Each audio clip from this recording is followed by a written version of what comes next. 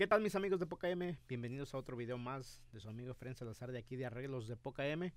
En esta ocasión pues les traigo una novedad. Eh, resulta que miré un comentario y me preguntaron que si había un programa para este, instalar, instalar sonidos en la Roland SPDCX y pues más, más que nada pues programarlo ahí directamente en el programa. Por ejemplo, panear los sonidos para la izquierda, para la derecha, este, programar los loops ya directamente en el programa.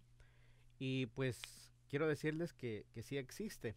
Usualmente pues tenemos el programa de Wave Manager, que se lo dan gratis en la página de roland.com. Es básicamente este es el programa, ¿no? Conectas la, la máquina, la Roland SPDCX con un cable de USB, el cual este pues ya se, eh, se, conecta a este programa y tú escoges los sonidos y los vas aventando como tú quieras a, a cada a cada cuadrito. Eh, ahí vas escogiendo pues más que nada dónde quieres este programar tus sonidos. Y te da la ventaja de que puedes nombrar los kits y puedes poner los nombres pero hasta ahí es lo que más puedes hacer. Se cerró la sesión. Lo que más puedes hacer con este programa. Hay otro programa que miré este ahorita lo vamos a sacar aquí. Dónde está por aquí me equivoqué. Eh, viene siendo este programa que está aquí que se llama eh, el SPDCX Editor. Este programa sí te da esta opción de eh, programar todo ya básicamente en, en, la máquina. Por ejemplo, pues aquí ya puedes poner el, nombre del kit. Aquí puedes este cambiar el volumen, bajar el volumen de, de todo el kit en general. Eh, aquí puedes poner el volumen de cada pad. Por ejemplo, le pegas a este pad le bajas el volumen, le pegas este pads aquí con el mouse, le, pues vas este más que nada ecualizando el volumen a tu gusto, ¿no?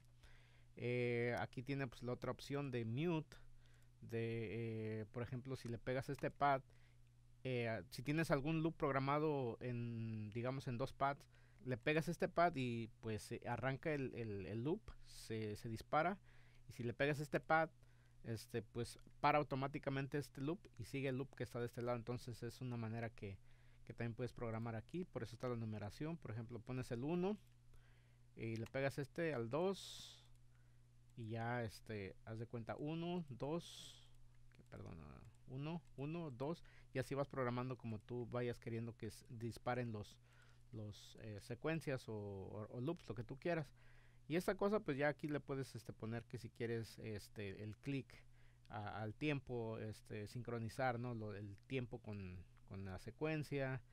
Eh, aquí ya puedes programar el loop. Por ejemplo aquí si lo pones en on, le pegas al loop y empieza a, ¿cómo se dice? A, a seguir sin parar el loop. Pero si lo tienes en off, pues automáticamente si le pegas al, al pad, este pues nomás va a durar cierto tiempo lo que está el fragmento del loop no que está armado. Aquí en esta parte donde dice chat si lo pones en alternativo alt y el loop on automáticamente si le pegas al loop va a dispararse la secuencia y va a durar todo el tiempo que tú quieras estar tocando con ese loop y solamente eh, con un golpe si lo tienes programado en alt le pegas un golpe y para, le pegas el otro golpe y se dispara y así este prende y apaga, ¿no? El loop.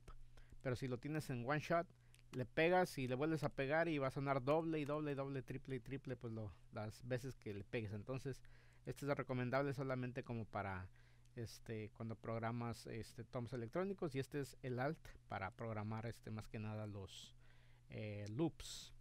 Y pues aquí ya están los dinámicos, aquí está pues este eh, algunas otras este, ediciones, adiciones que ya poco a poco las vas a poder indo, yendo explorando, ¿no? Entonces, sí existe este, este programa para poder este, editar totalmente en la computadora y ya no tengas que editar en, en la máquina porque a veces es un poquito más tedioso editar en la máquina. Entonces, pues este programa, pues realmente yo lo bajé, pero no lo tengo activado. Eh, tienes que pagar algún creo como 39, 40 dólares por agarrar la licencia y activar el programa. Y este, más que nada, pues para poder hacer todos estos funcionamientos. Aquí de este lado es donde entrarían los waves. Aquí de este lado estarían. Ah, vamos a ver el video. Eh, por ejemplo, si te metes a la página spdsxeditor.com, aquí te da las opciones. Aquí pueden ver, aquí de este lado, van los este, sonidos. Y pues ya necesitaría uno explorarlo un poquito más, pero más o menos ahí les di una idea de cómo funciona este programa.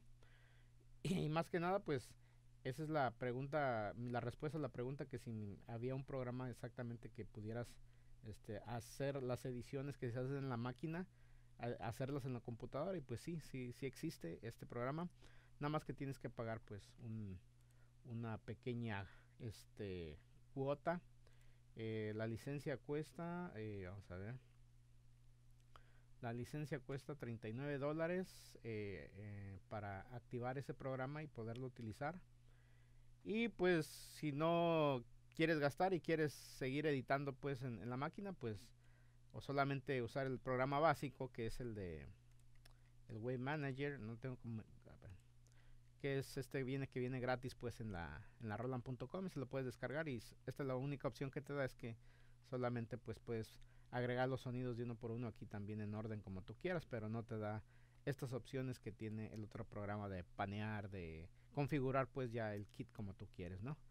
Entonces pues ahí está un este video que me habían preguntado, así es que lo investigamos y pues ahí está la idea de lo que me preguntaron, ojalá y responda a sus respuestas.